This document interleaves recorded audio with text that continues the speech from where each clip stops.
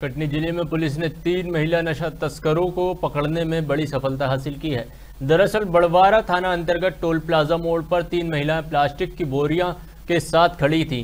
किसी वाहन का इंतज़ार कर रही थी, तभी बड़वारा पुलिस कॉम्बिंग गश्त के दौरान वहाँ से गुजरी और पुलिस ने तीनों महिलाओं से पूछताछ की, जिसके चलते महिलाएँ घबरा गईं और यहाँ वहाँ के बहाने करने लगी और भागने का प्रयास किया। जिस पर बड़वारा थाना प्रभारी के के द्विवेदी द्वारा तीनों महिलाओं को पकड़कर बोरियों सहित थाने लाया गया। वहीं महिलाओं की उन बोरियों में करीब पैंसठ किलो गांजा पाया गया। जानकारी के अनुसार यह महिलाएँ शाहनगर, पन्ना ज़िले की निवासी हैं जो छत्तीसगढ़ से गांजा लेकर आ रही थी और तस्करी के कार्य में काफ़ी समय से शामिल है। इसी बीच पुलिस ने बताया कि महिलाओं से जब्त किए गए गांजे की बाजारू कीमत लगभग दस लाख रुपए बताई जा रही है। कटनी से जाहिद हुसैन सिद्दीकी की रिपोर्ट।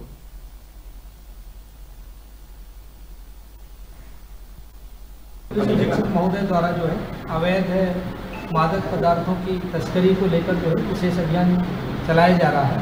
और त्योहारों को दृष्टिगत देखते हुए जो है, कल हम लोगों ने कॉम्बिंग गश्त की पूरे ज़िले में सर्चिंग कराया था कॉम्बिंग गश्त के माध्यम से। इसी दौरान कॉम्बिंग गश्त के दौरान जो है, बड़वारा थाना में, बड़वारा थाना प्रभारी किशोर द्विवेदी और उनकी टीम के द्वारा जो है, वो चेकिंग की जा रही थी। इसी चेकिंग के दौरान बड़वारा टोल स्टेशन के पास जो है तीन महिलाओं को देखा गया रात्रि में जिनके द्वारा लगभग चार बोलियाँ रखी हुई थी वो। तो उन्हें जब उन्होंने पुलिस को देखा तो वो थोड़ा सा अपना संदिग्ध आचरण प्रदर्शित की।